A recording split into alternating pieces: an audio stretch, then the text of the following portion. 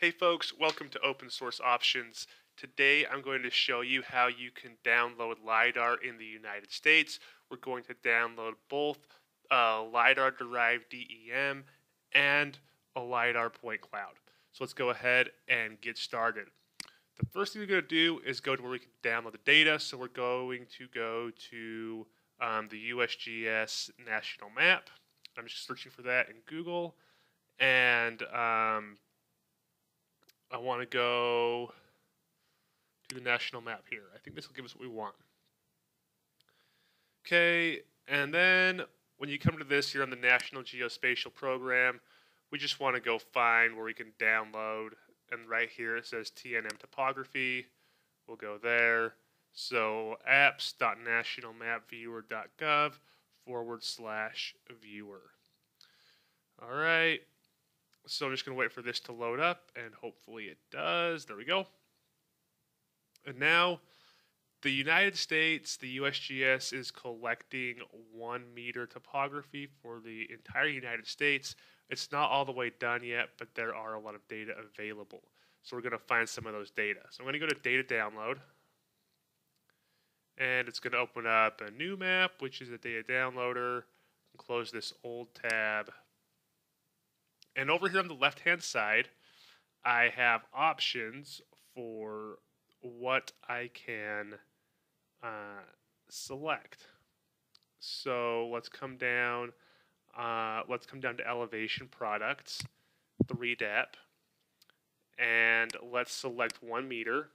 And if I click this show button, it's going to show me where all those data are available. So you can see that brown shows me where these data are available. Um, and these are going to be DEMs.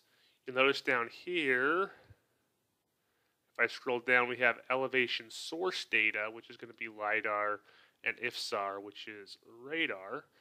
Um, but let's go ahead and get a DEM first. So let's see, where's somewhere? Ooh, this looks interesting over here in Idaho. Got some nice topography in here. So let's just zoom in to an area.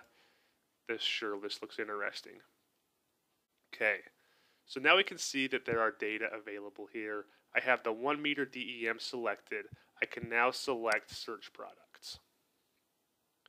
It's going to take a minute, and now you can see it's pulling up all these different tiles. I have a thumbnail here, and there are two different options to download here. And we can highlight those thumbnails. So I'm going to go ahead and download this first one. We see this download link for a TIFF. Um, this is going to be 10,000 cells by 10,000 cells, so it's a relatively eh, moderately sized DEM or raster file.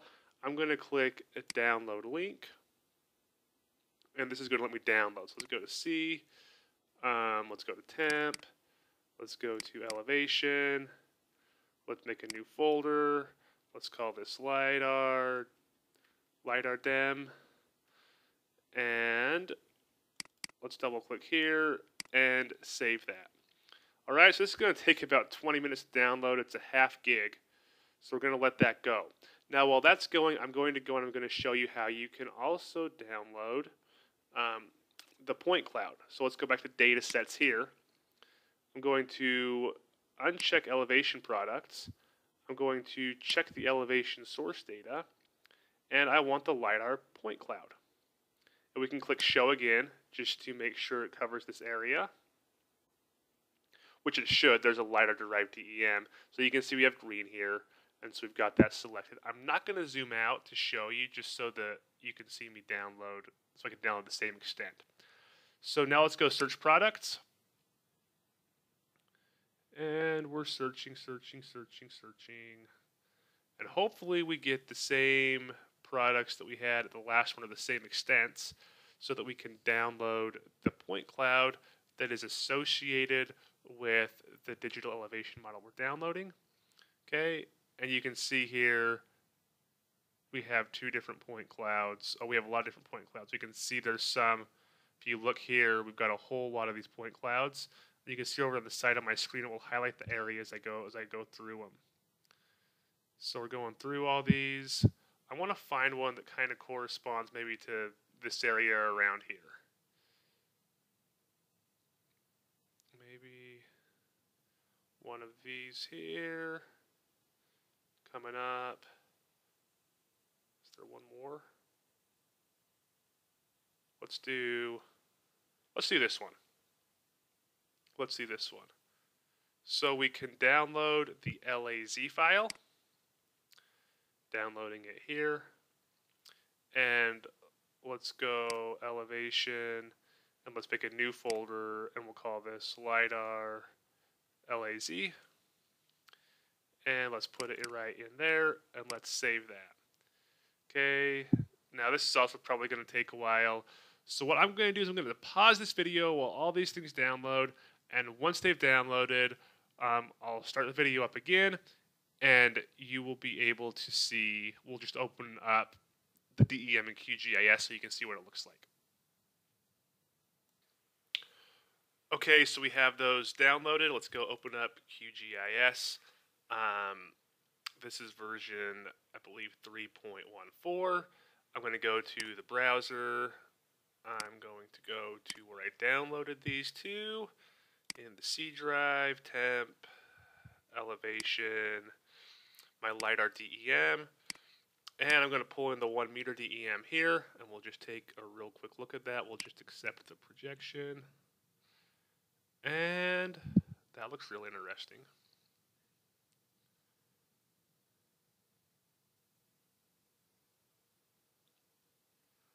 Let's just take a look. Where's my... Let's just grab this and see what we got here. No data. That's very interesting.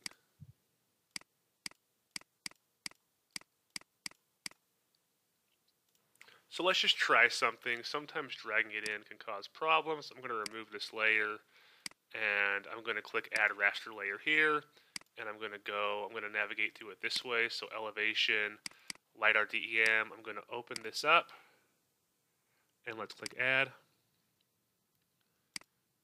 Okay. Ooh, we still have this. Let's see what we get. Okay, so these values look correct. we still have some weirdness going on because it shows the min and max are these, which are just basically no data values.